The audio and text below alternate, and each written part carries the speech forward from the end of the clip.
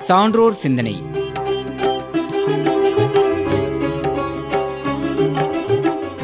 வழங்குபவர் ஸ்ரீ பகவத் அவர்கள்.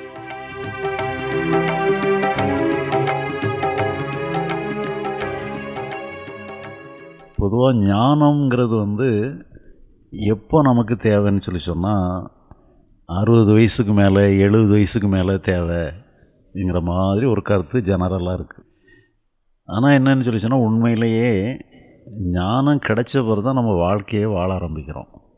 அதனால் நமக்கு வந்து அறுபது வயசு எழுபது வயசு வரைக்கும் நம்ம காத்து கிடக்கணும்லாம் அவசியம் இல்லை.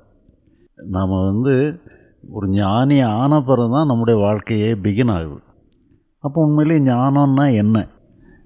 இது வந்து ஏதோ ஒரு மிஸ்டிக்கலாக ஏதோ ஒரு விஷயமா ரொம்ப கஷ்டப்பட்டு நாம் ஏதோ காடு மலைகள் எல்லாம் தேடி அலைஞ்சு என்னதையோ பண்ணினதுனால கிடைக்கிறது தான் ஞானமாக நீ பார்த்தோன்னு சொல்லி சொன்னால் அப்போ அந்த மாதிரி ஒரு ஞானம்னு சொல்லி சொன்னால் ஒரு சராசரி மனிதனுக்கு சாத்தியமே இல்லை.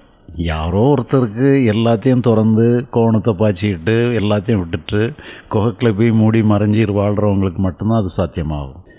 அப்படின்னு சொன்னால் அப்போ அவங்க அவங்க மட்டும்தான் வாழ முடியும் மற்றவங்களுக்கெல்லாம் வாழ முடியாதுன்னு சொல்லி சொன்னால் அது ஒரு பொது உண்மை கிடையாது. ஞானம்னு சொல்லி சொன்னால் உண்மையிலே அது ஒரு பொது உண்மை. எல்லாருக்கும் சாத்தியப்பட்ட ஒரு சராசரி மனிதனுக்கும் சம்மந்தப்பட்ட ஒரு சாதாரண உண்மை. இப்போ நீங்களுமே நானுமே வந்து அது ஞானம்னா என்னென்னு தெரிஞ்சுக்கிட்டோம்னு சொல்லி சொன்னால் அந்த ஞானத்தை நம்ம அடைஞ்சிக்கிடலாம் அறிஞ்சிக்கிடலாம். இந்த ஞானம்னா என்ன? முக்தி அல்லது லிபரேஷன்னா என்னன்னு தெரியாதபடி ரெண்டையும் போட்டு குழப்பி வச்சுக்கிடுறாங்க. லிபரேஷனுங்கிற பேரில் ஞானத்தை சொல்கிறாங்க ஞானங்கிற பேரில் லிபரேஷனை சொல்கிறாங்க இப்போ இதனால தான் என்ன ஆகுதுன்னு சொல்லி சொன்னால் நமக்கு ஞானம்னா என்னன்னே தெரியாத முடியாதபடி ஒரு குழப்ப நிலைக்கு நம்ம தள்ளப்பட்டுறோம். உண்மையிலே ஞானங்கிறது சாதாரணமாக நம்முடைய மனதை புரிஞ்சுக்கிட்டது தான் ஞானம். வேறு ஒன்றுமே கிடையாது. மனதில் வந்து நிறைய விஷயங்கள் என்ன சொன்னால் நம்ம மனசில் வந்து டம்ப் பண்ணப்பட்டிருக்கு.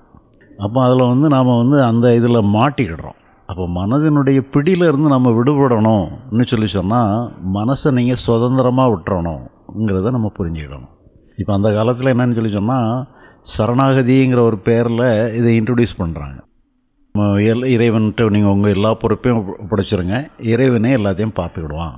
நீட்டு சொன்னான்னு சொல்லி சொன்னால் நமக்கு எந்த பொறுப்புமே இல்லைங்கிற மாதிரி நம்மளை விட்டுறாங்க. இப்போ இதே இது என்னன்னு சொல்லி சொன்னால் ஃபிசிக்கல் சைக்கலாஜிக்கல்னு எடுத்தோம் சொன்னால் சைக்கலாஜிக்கலாக நமக்கு எந்த பொறுப்புமே இல்லை. ஃபிசிக்கலாக எல்லா பொறுப்பும் இருக்குது நாம் வந்து செயலை செய்யணும். ஆனால் சைக்கலாஜிக்கலாக நமக்கு பொறுப்பே கிடையாது.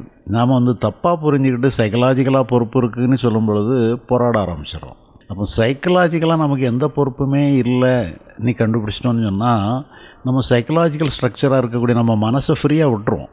இப்போ நாம் வந்து அங்கே நம்ம வந்து நம்ம சரி பண்ணணும் தப்பு பண்ணிட்டோம் சரி பண்ணணும் இது சரியில்லை அது சரியில்லை இது வேணும் அது வேண்டான்னு சொன்னால் நீங்கள் ஃபிசிக்கலாக எல்லாம் நமக்கு தேவை தான் அப்போ மன சைக்கலாஜிக்கலாக நமக்கு எதுவுமே தேவையில்லை. எதுவுமே இல்லாமல் அது நல்லா தான் இருக்குங்கிறத புரிஞ்சுக்கிடுறது மட்டும்தான் ஞானம். அப்படின்னு சொல்லி சொன்னால் அந்த மனசை ஃப்ரீயாக விட்டுறோம். அப்போ மனசை ஃப்ரீயாக விடுறதுக்கு ஞானம் பயன்படுது. இதுக்கு தெரிஞ்சுக்கிட்டோம்னு சொல்லி சொன்னால் நம்ம லைஃப் லாங்காக இது நம்ம கூட வரும்.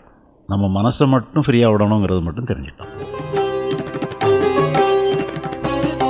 நேயர்கள் இதுவரை கேட்டது சான்றோர் சிந்தனை. வழங்கியவர் ஸ்ரீ பகவத் அவர்கள்.